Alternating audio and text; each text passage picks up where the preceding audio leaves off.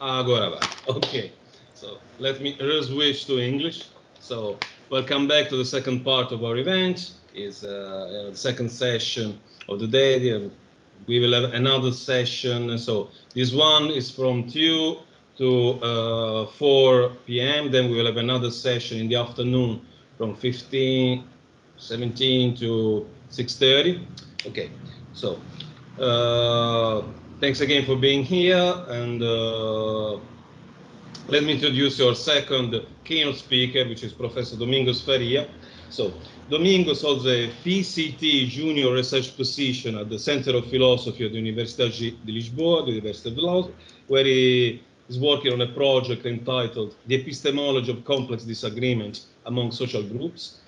He earned his PhD in philosophy from the University of Lisbon, from the Universidade de Lisboa, no, in 2017, with a thesis entitled Is Belief in God Properly Necessary? Defense of a Moderate Evidentialism. His primary areas of research are epistemology and philosophy of religion, and he works also in philosophy of logic, metaphysics, and uh, the philosophy and uh, the teaching of philosophy. So his talk of today is called Knowledge First, Reformed Epistemology. Please welcome Professor Domingos. Thank you, Domingos. Thank you a lot. I will share my screen.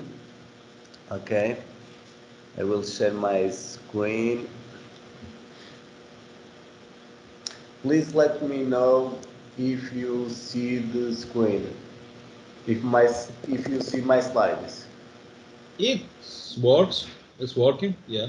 Yes. Okay. Okay, great. I will start then. So my talk is about knowledge first from epistemology. So I want to relate the knowledge first epistemology like uh, Timothy Williamson developing his book, uh, The Knowledge and Its Limits, with the reformed epistemology uh, that Plantinga, Alvin Plantinga developed in, um, in his uh, book uh, Warrant and Christian Belief. So let's start with my introduction. So I want to relate two trending topics in uh, contemporary epistemology. Namely, I want to relate the discussion about knowledge first epistemology with the discussion of the reformed epistemology approach. So I want to relate uh, knowledge first epistemology with reformed epistemology.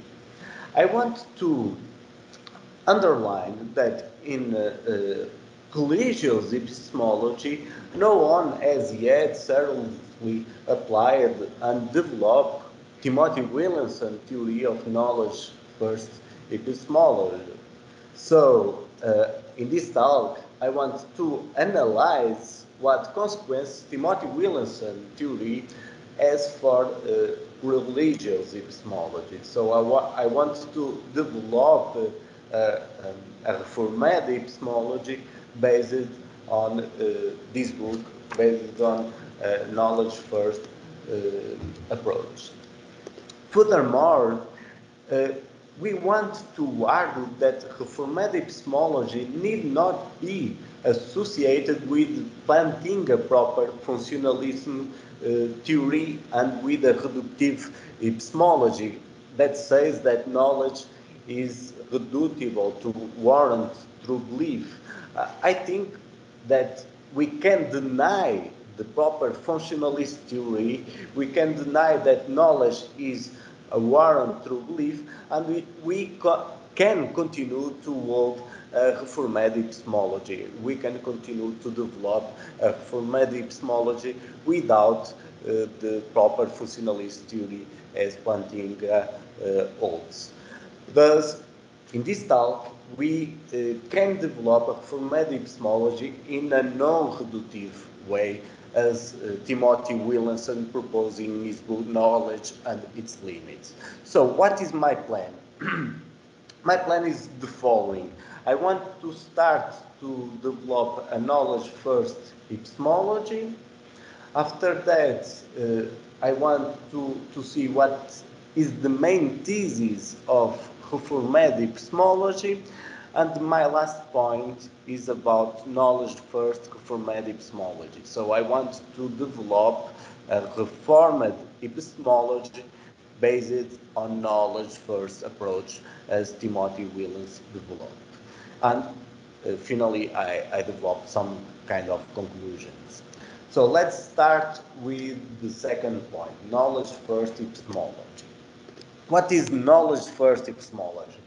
In, in, this second point, I will follow the main topics of uh, knowledge and its limits, books, and Timothy Williamson in these books argues that the concept knows cannot be analyzable into more basic concepts such as belief, truth, and justification. So we, we cannot reduce knowledge to more basic elements like belief, truth, and justification. Instead, knowledge is prior to the other epistemic kinds. The concept of knowing uh, being a theoretical primitive. So knowing is a primitive concept. In other words, for, according to Timothy Williamson, knowledge is a starting point for explaining other notions.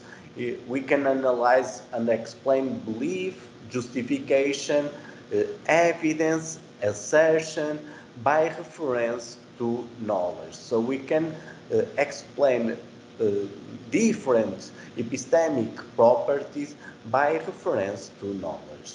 For instance, uh, we can say that believing a proposition P is closely treating P as if one knows P.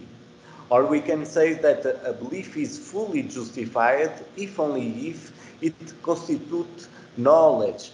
And we can also say that all, all only uh, knowledge is uh, evidence. So we can uh, define, we can uh, characterize and analyze belief, justification, evidence, and so on in terms of knowledge, because knowledge is a theoretical primitive. So, what are the main arguments to, to this approach? What are the main reasons to, to, to support this view? According to, to Timothy Williamson, the main reasons for supporting this approach, in which knowledge is central uh, uh, concept, are the following. First, not all concepts are susceptible to analysis in terms of more basic necessary and sufficient conditions, at least in a non-trivial and non-circular man manner. So we cannot propose for all concepts uh, necessary and sufficient conditions. And according to Timothy Williamson, this seems to happen with several common concepts, like the concept red. We cannot present necessary and sufficient conditions to the concept of uh, red, or for the concept of hip, bald, tall, old, etc., so, and so on. But also with the concept of knowledge, we cannot also we cannot present necessary and sufficient uh, conditions.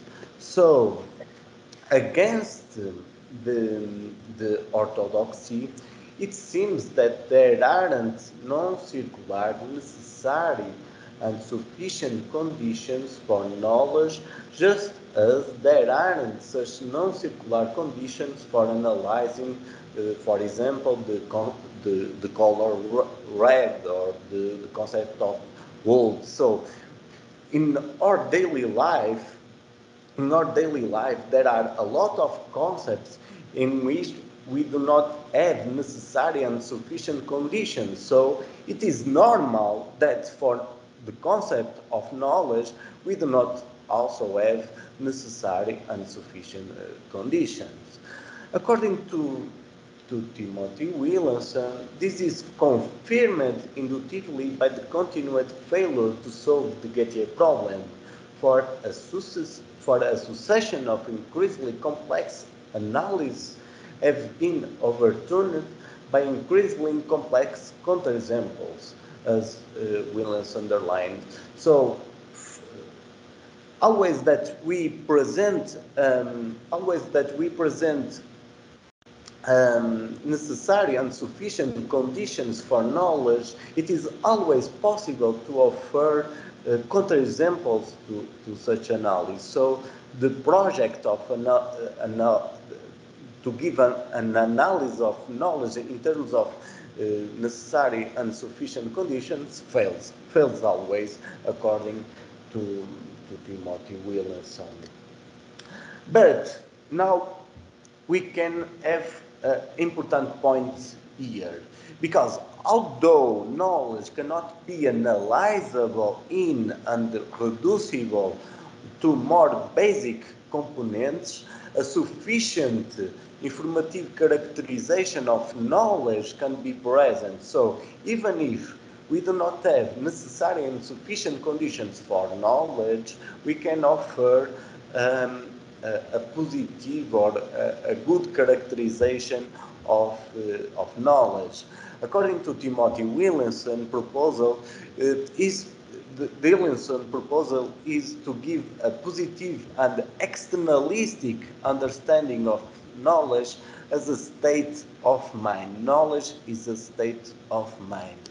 More precisely, he holds that knowing is the most general, affective stative attitude that which one has to a proposition if one has any affective stative uh, attitude to it at all.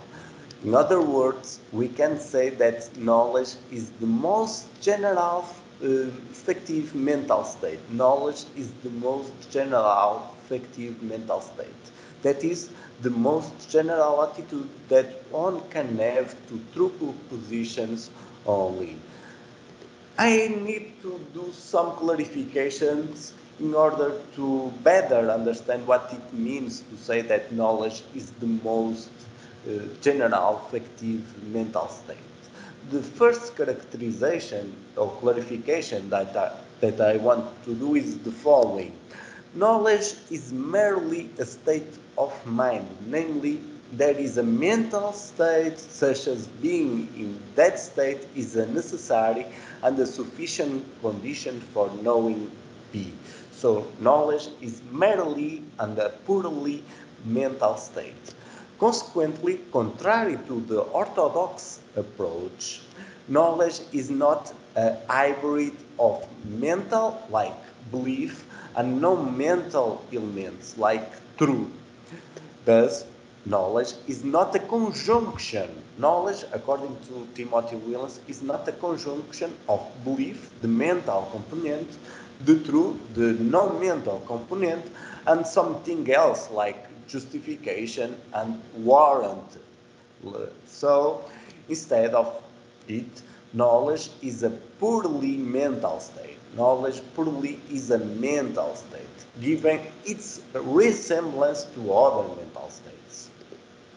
And this understanding of knowledge as a mere state of mind is a presupposition that uh, we must accept unless we have a powerful uh, reason to re reject it.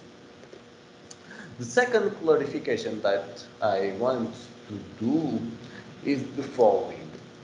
Unlike mental states like imagining, desiring, hoping, and so on, the mental state of knowing is factive. It's factive in the sense that implies the truth of the proposition. So, affective attitude is one that a subject S can have only to truth. For from the proposition S knows that P, we can validate uh, in a valid way deduce that P is true. Uh, so the fact that knowledge is affective attitude does not prevent it from uh, being a mental state. We can have affective mental states, according to Timothy Williamson.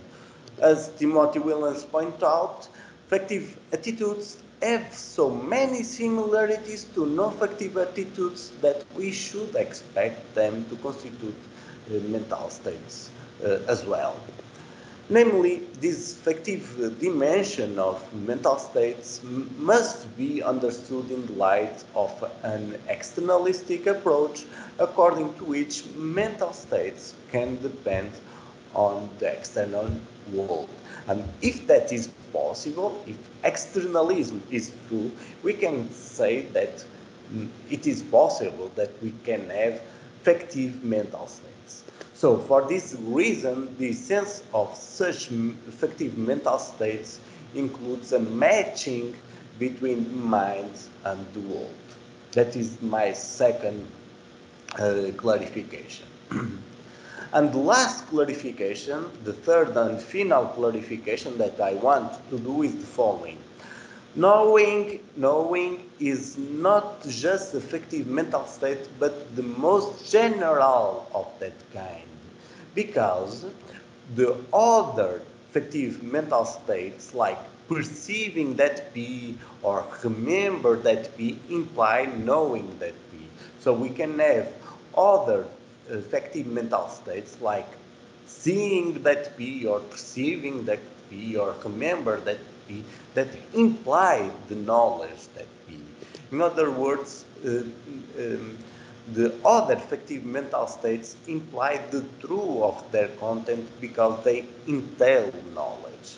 For example, if a subject S really see that it is raining, then the, the subject S knows that it is raining because knowledge is factive. So uh, there are uh, are several specific ways in which one can know, such as seeing, uh, remember, and uh, perceiving, and so on. And uh, Timothy Williamson uh, seeks to elucidate this idea more formally, uh, showing that in natural uh, thought, uh, uh, affective mental state operator we can express such a affective attitude through a natural language with an affective mental state operator, which is semantically analyzable. The central point of affective mental state operator can be summarized as follows. So first, knowledge or know is a affective mental state operator, and if phi, for example, if perceiving is affective mental state operator, then from S5 that P, for example, from S perceiving or if from S sees that P, one can infer both that P is true and S knows that uh, P. That is the, the main point that Timothy Williamson developed.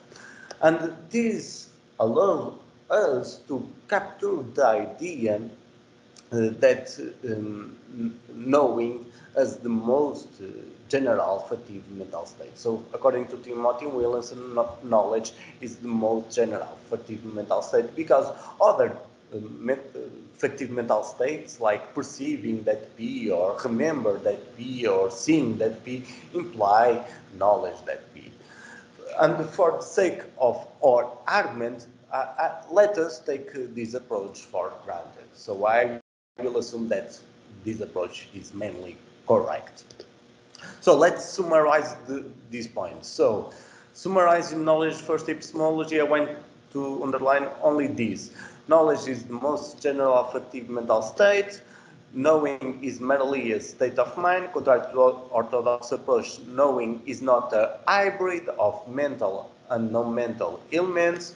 Unlike uh, mental states like imagining, desiring, hoping, the mental state of knowing is factive, and the affective attitude is one that the subject has can have only to true. And the last clarification is that knowing is not just affective mental state, but the most general of that kind, in the sense that the other affective mental states, like perceiving that be or remember that be, imply knowing that B. so that is the general approach to knowledge first epistemology, in the sense that knowledge is the most general affective mental state. That is the first part of my talk. So let's go to the second part of my talk. What is reformed epistemology. What is reformed epistemology? The main thesis of reformed epistemology is the thesis that theistic belief can be properly basic. That is the main thesis. What is a basic belief? We can say that a basic uh, a belief P at time T is basic for the person F S if only if that proposition P at T is such that it is accepted by the subject S but not on the basis of any argument or inference. So a basic belief is a belief that the subject accepts that belief without argument. What is a properly basic belief? A properly basic belief is defined as follows. A belief P at time T is properly basic for the person S if only if uh, that that belief P is base, a basic belief at T for S, so that P is a basic belief, and we have another condition in order to be a proper basic belief. In other words, such a belief, such proposition has positive epistemic status like uh, justification, warrant, knowledge, or so on, at for S. So a proper basic belief is a belief that is basic, but uh, it is also uh, a belief that is justified or uh, we, we, which have warrant or uh, a belief that is knowledge. So, what is mean? What it mean to say that a theistic belief can be properly basic? It means that a theistic belief can have a positive epistemic state like justification or, or warrant without argument or inference. In other words, uh, according to the Reformed epistemology, it, it is possible that theistic belief uh, has positive epistemic status, even if there isn't any successful theistic argument, such as the ontological argument, the cosmological argument, the, the teleological argument, and so on. So we can have a basic belief and uh, uh, with uh, positive epistemic status without uh, a su successful theistic argument. Which uh, now we have the following question: Why can uh, this belief be properly basic? How can um, uh, belief in God have a positive epistemic status without arguments? According to, to Alvin Plantinga in the book uh, um, Warrant and Christian Belief, Plantinga argued that uh, this belief can have a positive epistemic status of warrant.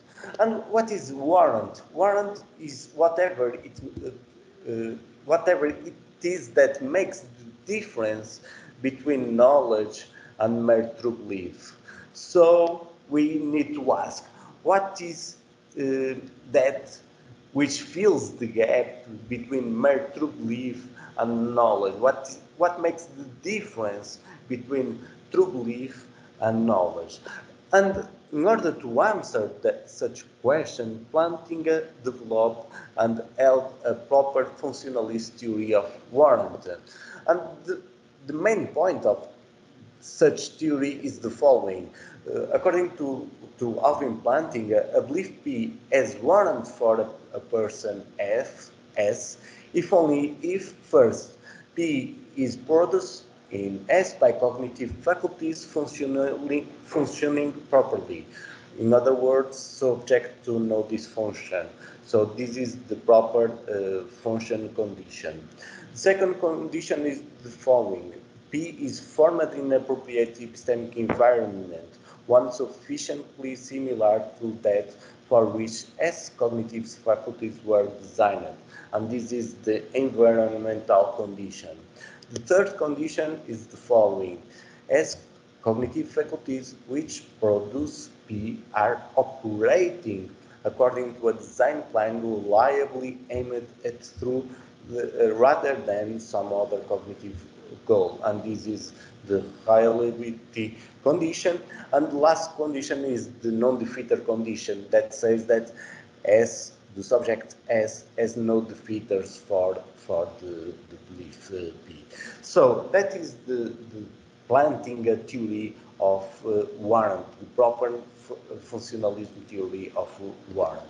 Now, if the proper functionalist theory of Warrant is correct, how can this belief uh, have warrant in a basic way? And the, the Plantinga argument can be summarized in this way. He, he said the following, if this belief is true, then there is indeed such a person as God, a person who has created us in his image, who loves us, who desires that we know and love him. But if these things are so, then we would, of course, intend that we be able to be aware of his presence and to know something about him. And given that God would certainly want us to be able to know him, the chances are excellent that he would create us with faculties like the sensus divinitatis, enabling us to do just that, to, to know God or to be a warrant about God. So the Plantinga argument can be summarized in this way. First premise, if God exists, then God loves us, desire that we know and love Him. If God loves us, desire that we know and love Him, then God probably wants us to know something about Him.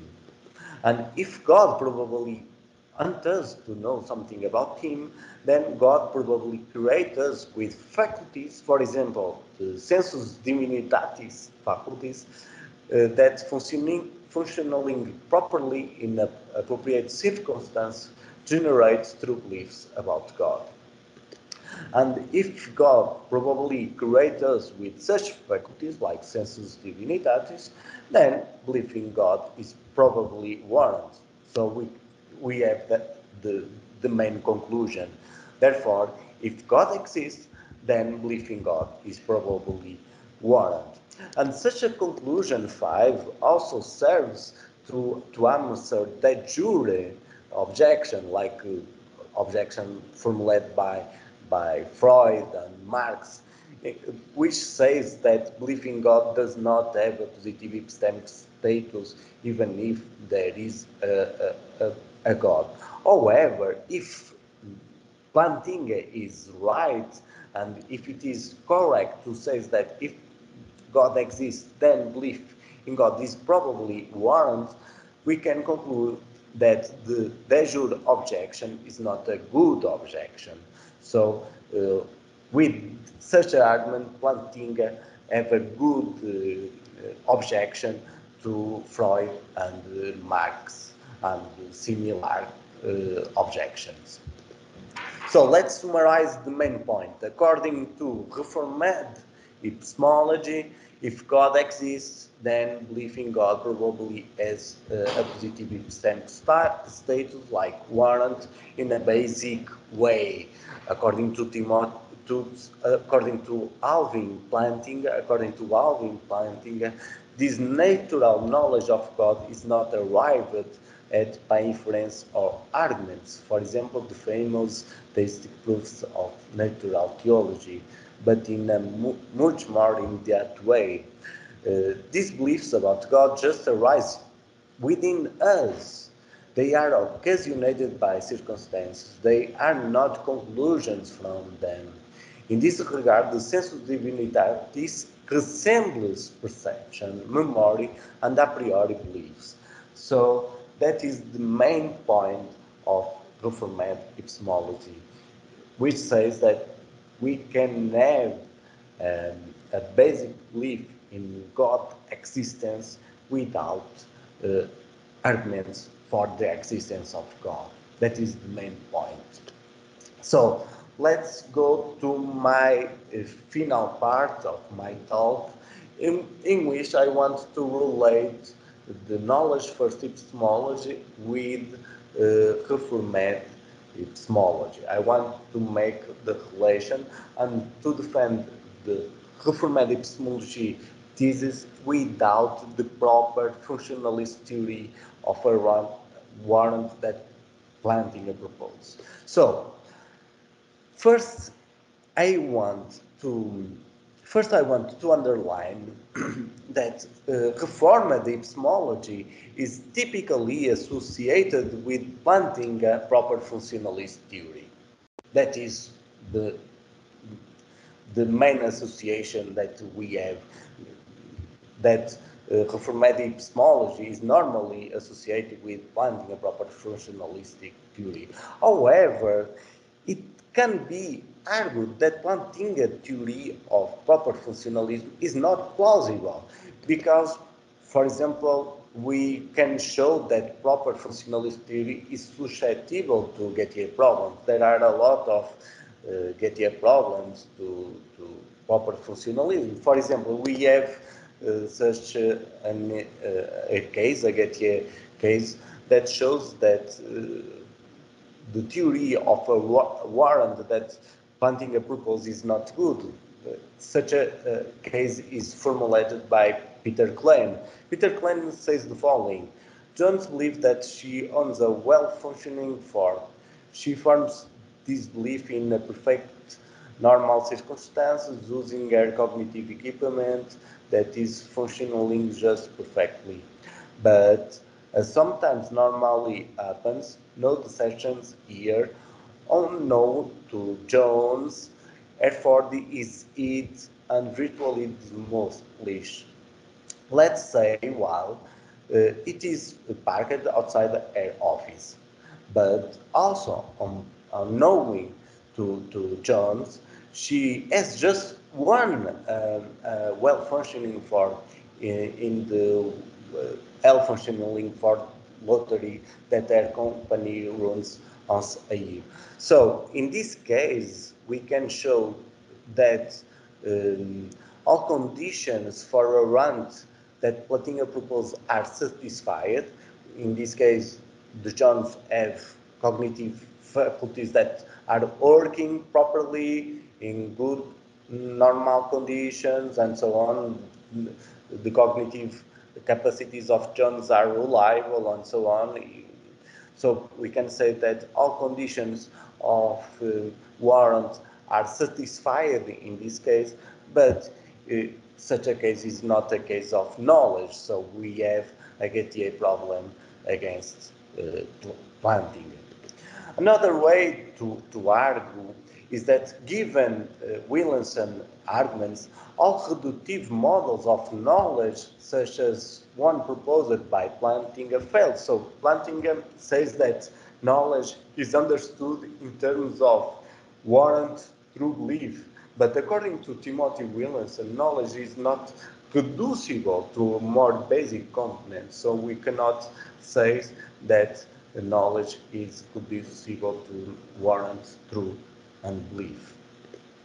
But if Plantinga proper functionalist theory fails, does this mean that the thesis of reformed epistemology also fails? And the answer is no. We can continue to hold the reformed epistemology thesis without the proper functionalist theory of warrant that Alvin Plantinga developed.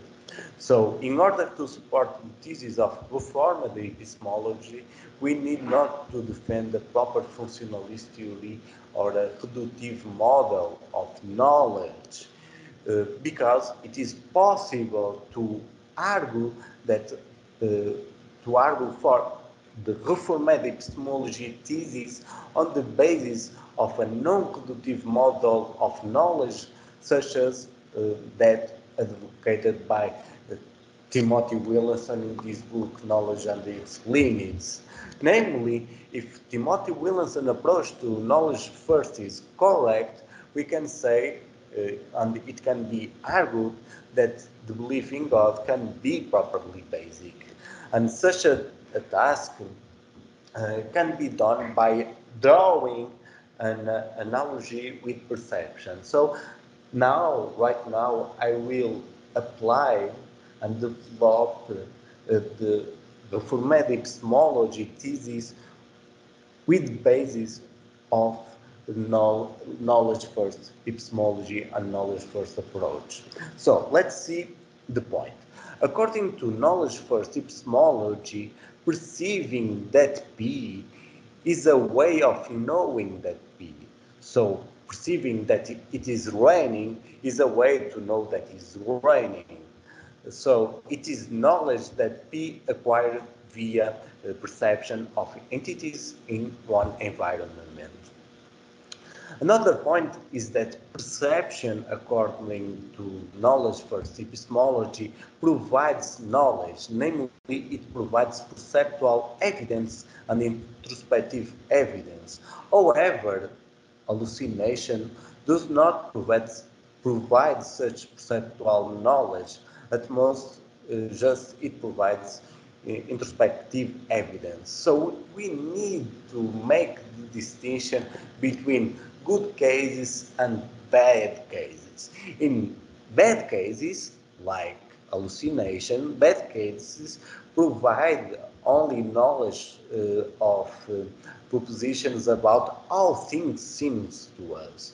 So we have only the phenomenal experience in bad cases. But in the good cases, in which there is really perception, provides knowledge of propositions about the environment in which one is directly experiencing. So, if you say that evidence equals to knowledge like Timothy Williamson, so we can say that we have more evidence or knowledge when we perceive them when we hallucination. So it is best, or it is, uh, uh, it is in a good case, we have more, we have more knowledge than in uh, a bad case. We have more positive uh, epistemic states in a good case than uh, in a bad case.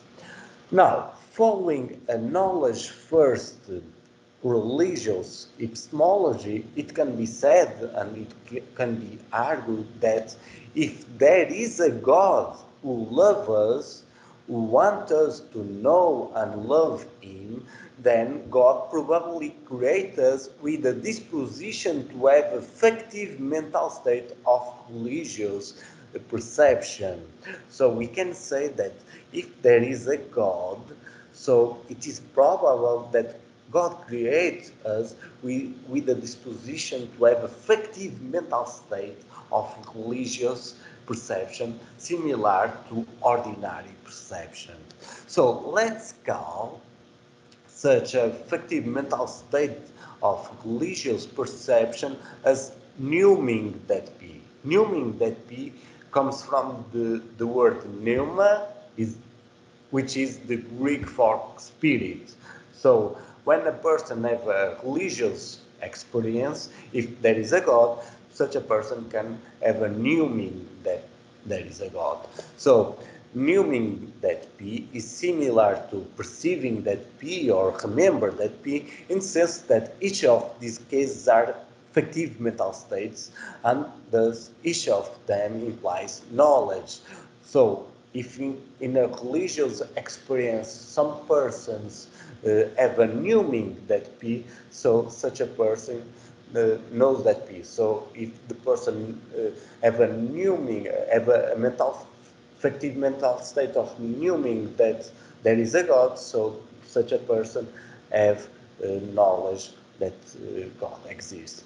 So if God exists, then there may be circumstances like circumstances like praying, reading the Bible, or seeing the, the beautiful beauty of nature and so on, in which the subjects form the factive mental state of knowing that there is uh, a God. And now we have the question, and what if there is no God? what if there is no God? In such a case, if there is no God, there is no factive mental state of knowing that there is a God. But in such a bad case, the religious person can continue to have knowledge of propositions about how things seems to work. Uh, that is, the internal phenomenology in a good and bad case is the same. So the internal phenomenology or phenomenology or the internal evidence is the same. So even if in the bad case the religious person does not uh, know that there is a God, she may be excusable. She may be excusable to have the belief in the existence of God, given that she believes as things seems to her and she has no defeaters. So she can have the, the positive epistemic states of excusable but not the epistemic positive state of, of, um, of knowledge. To conclude, so we can say the following. It can be argued that in the bad cases, in, in which there is no God, the religious person believing God is properly basic to a minimal degree, because such a belief may have the, the epistemic states of excusable but not the, the epistemic states of knowledge. So, in order to conclude, let me summarize my main point. My main point of uh, knowledge for formal epistemology. We can distinguish between good cases and bad cases. We can distinguish between good cases and bad cases. In a good cases, in which there is a God, uh, we can say that there is factive mental state of knowing that there is a God.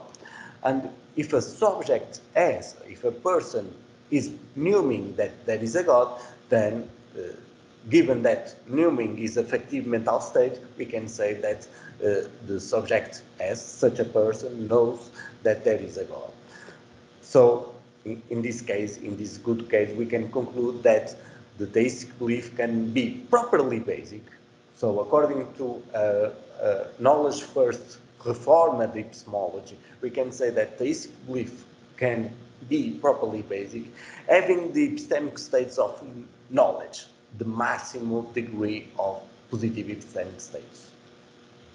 But on the other hand, we have the bad cases, bad cases in which there is no God. So in bad cases, we can say that there is no factive mental state of knowing that there is a God. And even so, we can say, or we can defend that a religious person can be excused for, uh, can be excused at least for continuing to believe in God without argument, insofar as she has no defeaters and believes and thinks seems to her. So if such a person have the phenomenology and the, the religious experience, and if such a person have no defeaters, it can be excused for such a person to continue to, to believe in God without argument. So the conclusion in, in bad is the following. So the theistic belief can be properly basic to a minimal degree, having the, the epistemic states of excuse uh, or epistemic states of excusable, but not the epistemic states of knowledge. So that is the point. We can argue for a, a, a reformed epistemology uh, thesis based on um, a knowledge first epistemology, and we can distinguish good cases and bad cases. In a good case, we can say that belief in God can be properly basic, having the knowledge, and in bad cases, uh, this belief can be uh, properly basic in a minimal degree, being such a belief excusable. excusable. So, thank you a lot for listening me.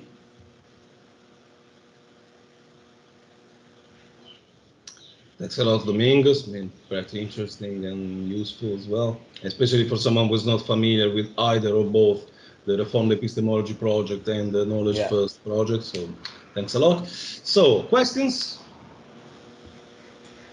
Okay, we have a first question, Felipe Medeiros. Please, Domingo, ah, para Ai. compartilhamento, por favor. Ah, sim. Ok. Felipe. Okay, we have Felipe first, then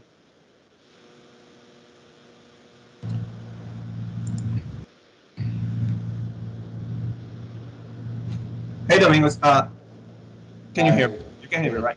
Yeah, yeah. Okay. Uh, thanks for the talk. Uh, I, I think you got everything exactly right with regards to how we would transpose reformed epistemology to like knowledge first epistemology. It's just like we just want to translate an external account. It's an externalist account to the other account, right?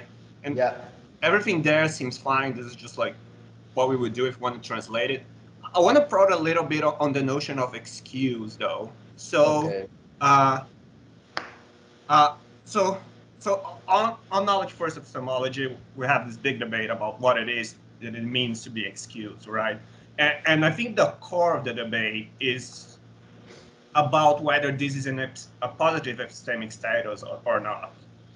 And, and, I, I, I'm used to thinking that it isn't, right? It's just a matter of not violating conventional norms. And, and when we translate that talk to, when we translate that talk to like how other epistemologists talk, we talk about like being rational or, you know, being in a being the evil demon world, but you, you Yeah. didn't do nothing wrong. So we use all this like talk about not being in certain negative states, right? But we don't Yeah. ascribe anything positive to it. Yeah. I see. Uh, and here, it seems like you want to say something more than that. It's, it, it seems like you want to say that that's an, a positive epistemic status in some sense. So I was wondering if you could say a little bit about, about more that, and, and especially what would be the value of that, aside from like not violating norms or something like that. If, if there's any, something more going on, or, or, or we're just talking about the same thing here. Yeah, great, great uh, question. Thank, thanks a lot, Philip, for your question. So, I want to to to make uh, a similar point that uh, knowledge first epistemology do in order to reply to evil genius or evil demon problem. So, in the evil demon problem, we, have a bad case yeah, we have a bad case. And in, in such a bad case, what Timothy Williams say? In, in such a bad case, Timothy Williams says that we have an excuse to continue to believe in what we believe. So we do not have knowledge, but we can continue to, to have knowledge. You, you are excusable to, to, to violate such a norm. And I think, in my perspective, such a such a excusable is have at least some positive epistemic status in the sense that it is something is a, a, course of action that is permitted to the to the subject. The subject can so the subject is not um, the subject is not uh, uh, doing something uh, very wrong in the sense that he have such an excusable to do that. So my point is only to have a similar point related with the evil demon uh, genius or evil demon world in which Timothy Williams said that we have a excusable maneuver to, to, to reply to such a case. And I think we can do the same in a a epistemology. If there is a if there is no God, we can say that the, the persons that believe in God can can continue to believe in God in a basic way because they may be excusable to, to do that if they do not have uh, defeaters. My, my point is that so the degree of the epistemic status is very low. it's very low, Philippe. So the degree of epistemic status in bad cases is very low. That is my point. But I think it's not a negative epistemic status.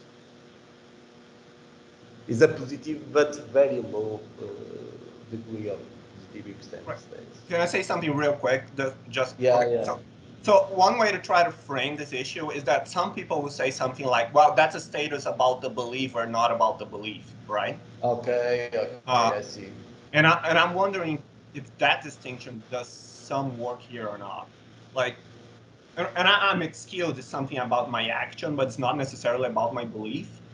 Yeah, yeah. Uh, but if that's the case, then there's, if that's the case, then there's nothing going on to say about the belief in that case, and that's the Yeah. Yeah, yeah, that makes sense for me. Thank you for that.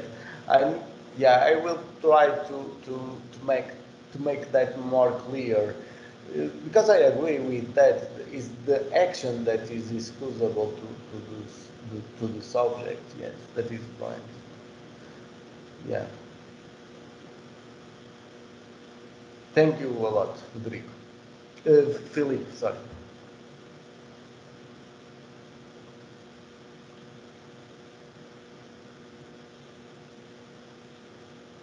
Turn on your mic. Uh, Sorry, uh, you still uh, okay? I think we have another couple of questions. Gabriel. Then we have Agnaldo.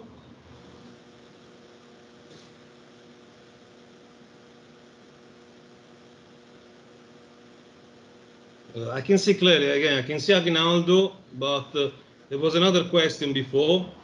Gabriel. Okay, let's go. Agnaldo, please go ahead. All right. So thank you, Domingos, very you. much. Nice to see you again. May I? Nice to see. Yeah. And um, thank you for your talk. Um, I have an impression about this um, knowledge first approach. That it says uh, it's non-analyzable. The concept of knowledge of knowledge is non-analyzable, but Yeah. it keeps on analyzing it. In fact, it's factive. It's believed. That's true. But I don't know.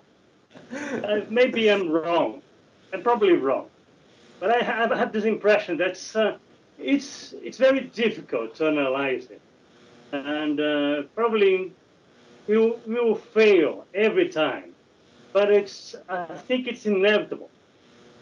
But that's not my main question. I would like to hear you about that. Uh, but uh, my my question is that the famous um, remark uh, Richard Swinburne made to Alvin Plantinga's book back in 2001. Well, uh, if the, the we are warranted Yeah. in, in the, the belief in God, if there is a God, how can we know there is Yeah. a God? Yeah. That is. Does your approach change anything about this question, or does can it answer that question better than the than Plantinga's reform of Yeah. epistemology? Yeah. Great question, uh. Thank you. Thank you a lot for that. Thank you a lot for that. So the first question, I want to on, only to stress the the following uh, the following idea. Uh, it is true that according to Timothy Williamson, knowledge is not analyzable, but he accepts that we can propose necessary conditions, not sufficient conditions. So, according to Timothy Williamson, we can give and propose necessary conditions for knowledge. For example, Timothy Williamson accept- uh, accepts the, the, the safety condition for, for knowledge. And uh, so he, he proposed as well a necessary condition for, for knowledge. However, he do not accept sufficient conditions to analyze knowledge. So, because we have the, the problem, the Gettier problem, and, and so on. Concerning concerning the the second question, concerning the second question, I I think my proposal can have some kind of uh, advantage uh, related to the to Plantinga proposal. Because in my proposal in my account I distinguish between uh, bad cases and good cases. And I say that even the subject is in, in a bad case in which there is no God, the subject can continue to have a positive epistemic state of excuse. So even if there is no God, the subject can have a proper belief, a basic proper belief in the existence of God, even if the, such a positive epistemic state is in a low degree because it is a mere, a mere uh, ex- excuse. So uh, mm, I, I think that is uh, that is an advantage of my view because we can say that even if there is no God, the belief in God can be properly basic in a some kind of low level of uh, positive epistemic states of of excuse. Thank you a lot. Thank you. But the question was not that. The question is, continue. how can we know there is a God or not? Yeah, yeah, yeah. That is a problem, of course. That is a problem. that is a problem, and uh, in such a way, uh, this the reformed epistemology do, do not have a clear answer to it. it uh, in this point, I agree with Richard Swinburne.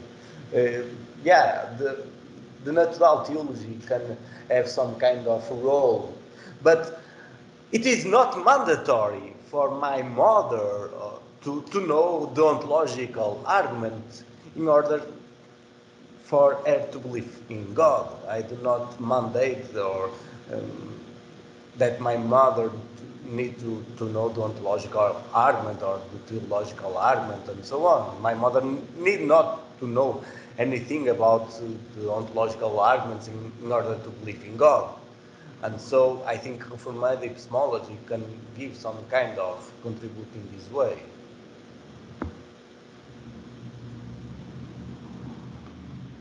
You need the evidence. Anyway, Yeah, that is true. That is true. But in other sense, in, in order to common people, ordinary people to believe in God, they do not need to have such evidence. They do not need to have, uh, uh, they do not have to know the ontological argument. My mother need not know the ontological argument in order to believe in God. That does not make sense. That is the point.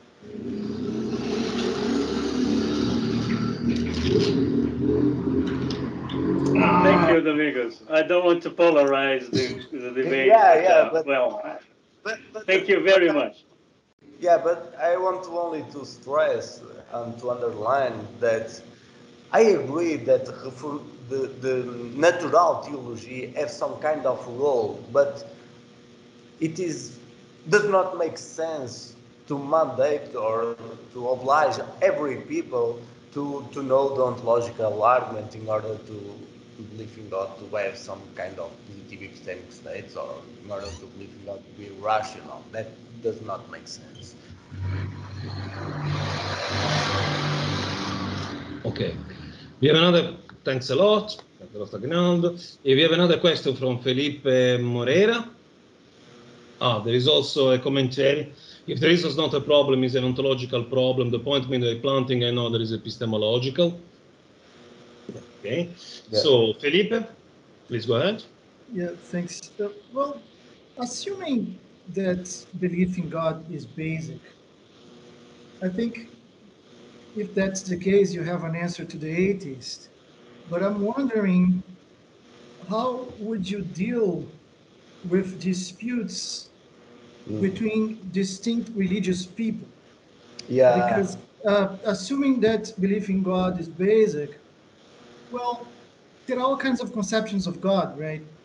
So how would you deal with, say, person one who has so and so concept of God, maybe relying on traditional Christianity, and then person two who has so and so concept of God more closely related to the Islamic conception. When they run into a dispute, how would you uh, try to deal? Because of course, merely claiming that belief in God's base is not going to work because they both have Yeah. the basic belief and it's not the same one, right? Yeah, that is a good question. Thank you, Philip, uh, a lot for your question. And your question is related with disagreement and peer disagreement and disagreement among uh, main religions. So, if there is disagreement among the religions, can belief in God be properly basic? That is the point. And my my other project is uh, to see what are the main answers to, to this agreement. We have the steadfast position, we have the, the conciliatory position, uh, but I, I think that the disagreement thing is related with the defeaters and to the people answers to the defeaters. I need to think more about that. If it is rational to to to be steadfast in in face of uh, disagreement among religions.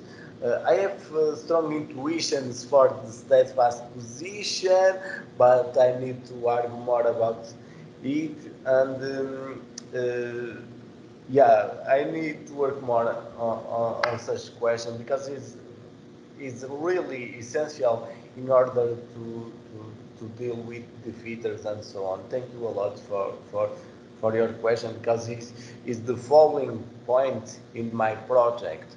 So if the knowledge first formed epistemology is correct, how to deal with uh, such a thing like disagreement and so on. Thank you for that. Thanks.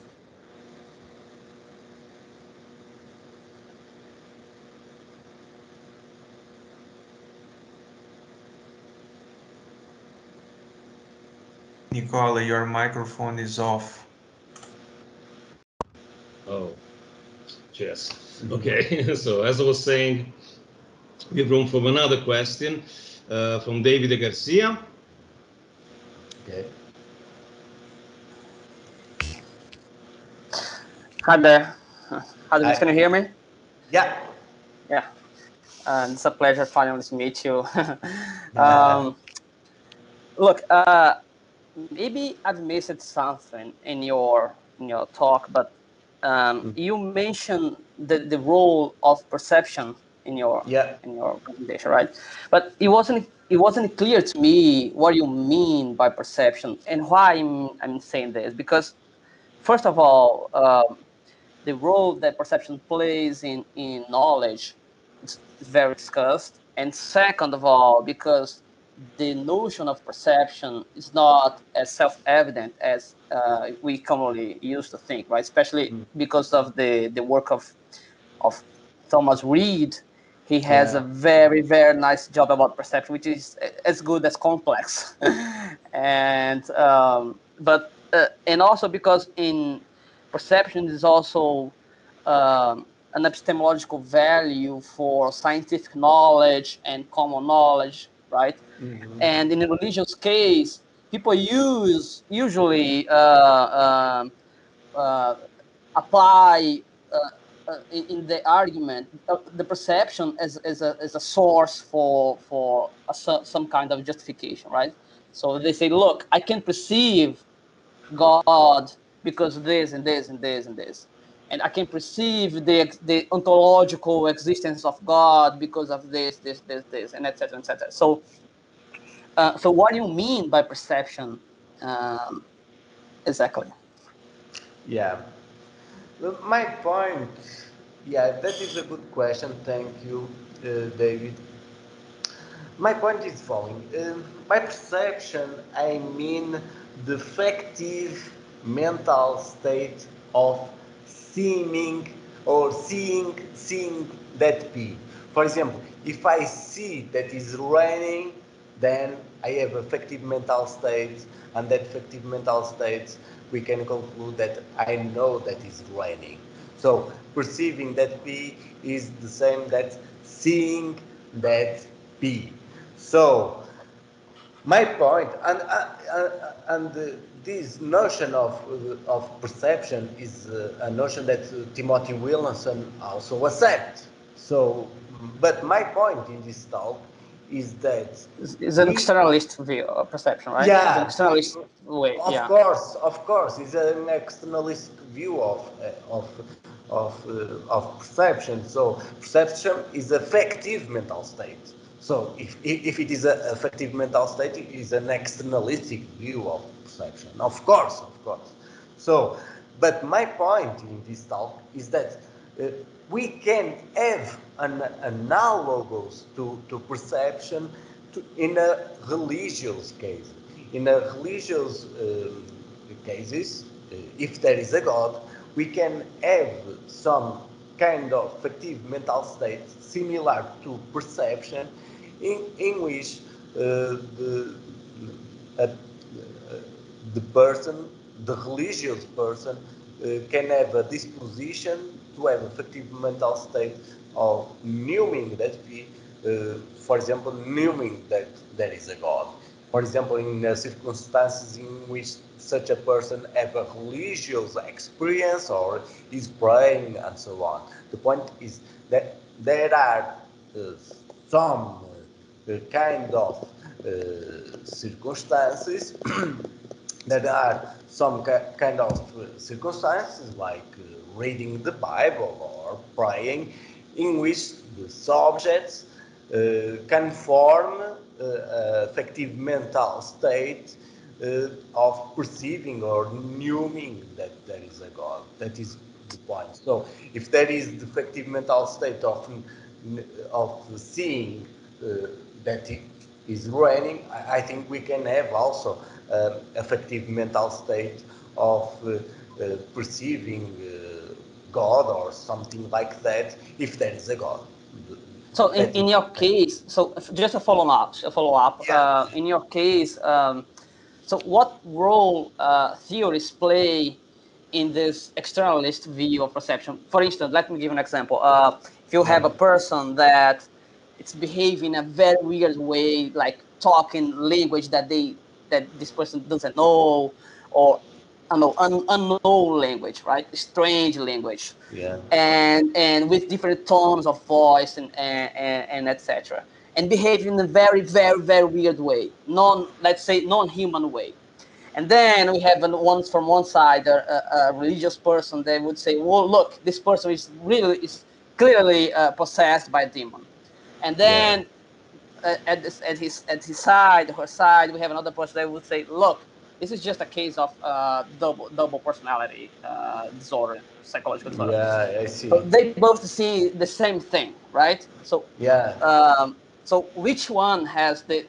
They would have the same perception of, of things, or the theory would play some role in in the perception, Yeah. or no, I- or don't. I, I think we need to, to make uh, a distinction because we need to distinguish among good cases in which there is really a perception of bad cases in which we do not have the perception but only hallucination or so on.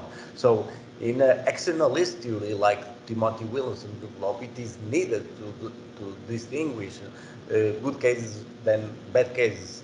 And in a religious thing, we, we also can distinguish good cases of bad cases. We can say that in a good case in which there is a God, there is really um, um, factive mental state of perceiving that there is a God, and so there is knowledge of God.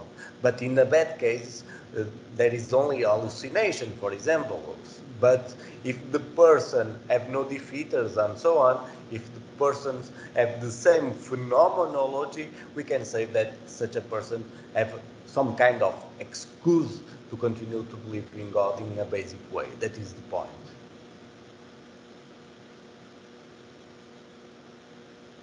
Okay, thanks so much. Uh, Thanks a lot, a lot for your question. Okay, we're running uh, late, so I'm afraid this is the last question, unfortunately. I mean, I know it's pretty interesting, so you can read it in the chat. If I understand understand well, you said that you are justified or excused to have uh, theological beliefs because there is a religious or spiritual phenomenon that may maybe is working behind the formation of these beliefs. Yeah. Can you tell more about the nature of religious experience? Yeah, the religious experience that I am thinking about are the common religious experience like uh, praying, like reading the Bible, like attending the mass, like see the the beauty of nature and so on. So I want to yeah, I have in mind only uh, common religious experience like praying and so on. Um, so uh, such a religious experience can, can yeah, are formed, formed by our ordinary experience of praying and so on. There is no something supernatural about that. But if you have a good case in which there is a God, then God can create us with the disposition to, to form factive mental state that in uh, some circumstance, like a circumstance of uh, reading the Bible or uh, the praying, we can form the, or produce factive mental state of belief that there is a God without argument, without ontological argument or, or, or, so on. That is the main point. So I, I am, yeah, I am, I, I, I understand, yeah, I am understanding, understand, yeah, I, I understood the, the religious experience in a more basic way and common way. So for me, for example, praying is a, a kind of ordinary religious experience. I'm not thinking about mystical experiences or so, or so on. okay, thanks a lot. So, thanks again for your talk. I mean, lots of questions. Uh, I'm sorry even to stop the discussion, but we have a lot of, uh, I mean, we're on tight schedule, unfortunately. So, thanks again. And uh, okay, now thanks a lot.